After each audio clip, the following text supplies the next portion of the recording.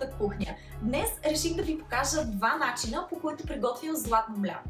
Ако не сте чували какво представлява то, то това е една прекрасна индийска напитка, на която се приписват безброй полезни качества. Още информация може да намерите под видеото, но основните преимущества на златното мляко са, че подобрява храносмилането и има изключително мощно противовъзпалително действие, тъй като съдържа моята любима куркума. Знаете за нея от видеото с шотъл джинджифил, куркума и лимон. Затова реално се нарича и златно мляко. Знаете, куркумата отцветява изключително много. Аз успях да съсипя плота вкъщи, но ще го изчисти след малко.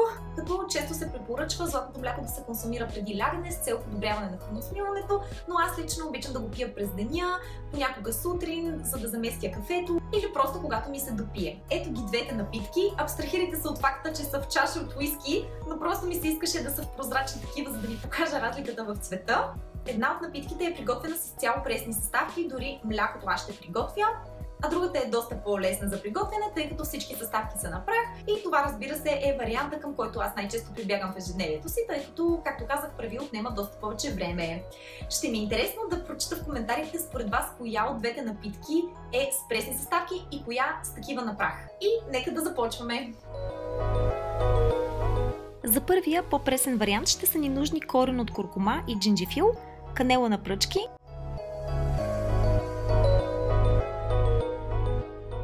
черен пипер на зърна и ядково мляко. Аз ще направя бадемово такова. Разбира се, може да се използва и готово. Започваме обелвайки джинджифила. Той е богат на антиоксиданти, бори се с гъбични инфекции, налява възпаленията в организма и още много. Всички знаем колко е полезен, затова няма да изпадам в подробности, а ще оставя информация в описанието под видеото.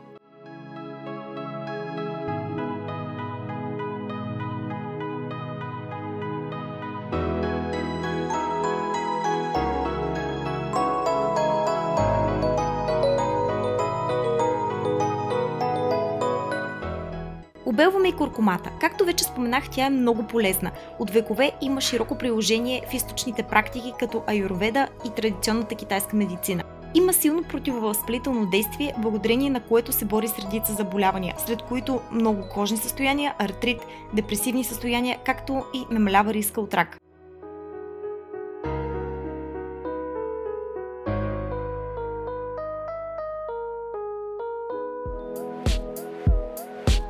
Куркумата обаче бладисва страшно много, така че задължително използвайте ръкавици.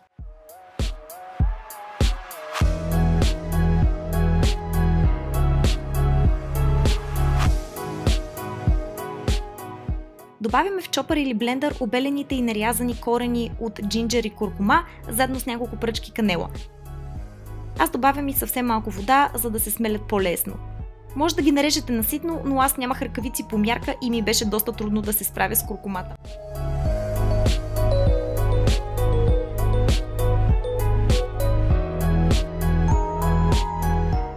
В описанието под видеото ще намерите мерки и количество на използваните продукти, но ви съветвам да се ориентирате на око и да се съобразите със своя вкус.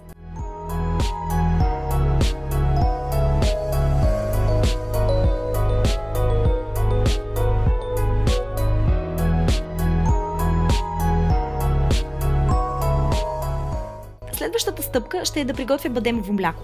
Имам видео с рецептата, ако ви е любопитно как.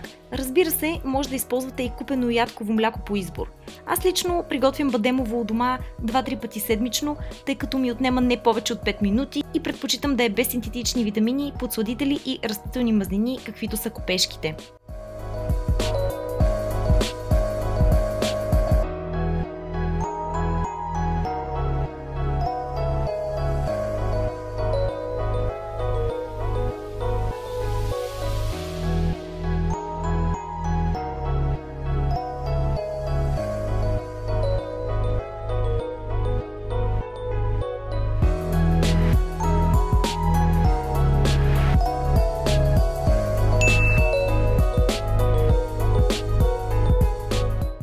Смлените джинджифил, куркума и канела добавям в малка тенджера. Добавям и няколко зърна черен пипер, който също е богат на антиоксиданти и други полезни вещества. Добавям и бадемовото мляко.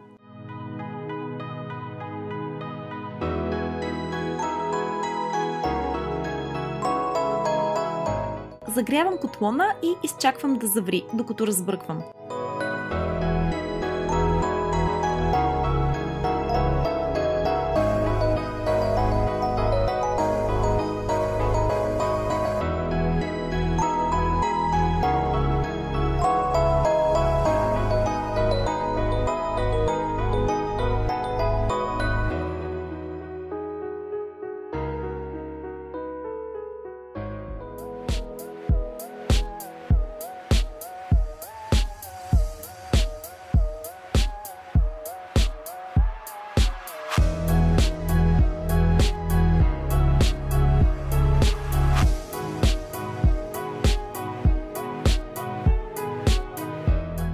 Момента, в който заври, директно отстранявам от котлона, тъй като не искам пресните съставки да са дълго време във вряща вода, тъй като е важно да се запазят полезните им свойства.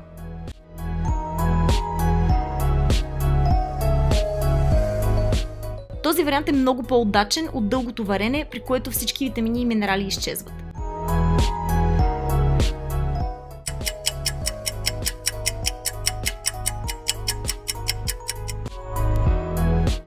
Е. И при сервиране просто прецеждам.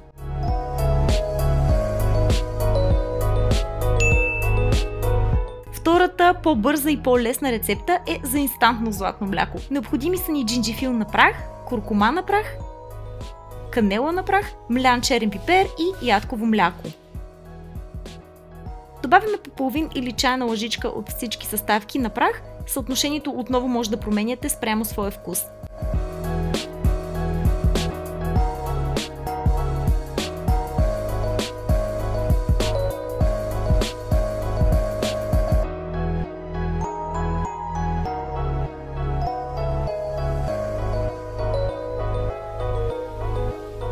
Затоплям бадемовото мляко, добавям към съставките, разбърквам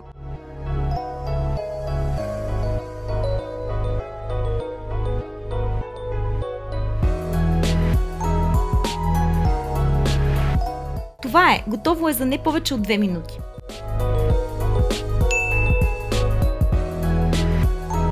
Да ви покажа как съхранявам в буркани в хладилника остатъка от златното мляко от първата рецепта. Млякото консумирам в рамките на същия ден, а с остатъка от джинджера и куркумата или правя ново такова, или ги запарвам и ги пия на чай. И разбира се, дойде време за тейст тест.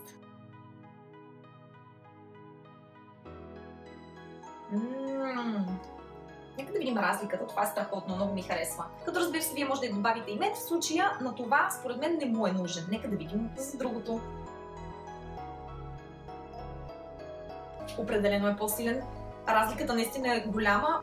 Ако трябва да съм честна, предпочитам пресния вариант, затова и продължавам, когато имам повече време да го приготвям. Но този също е страшно вкусен, просто не е толкова наситна вкуса, което реално ще е бонус за някои от вас, които не са привикнали с натрапчивия вкус на джинджифила и куркумата. Благодаря, че останахте до край. Искрено ще се радвам, ако и вие изпробвате рецептата и ми споделите вашите впечатления. Не забравяйте да ме последвате в Instagram, както и да се абонирате тук за канала ми, за да виждате още подобни видеа. Чао и до скоро!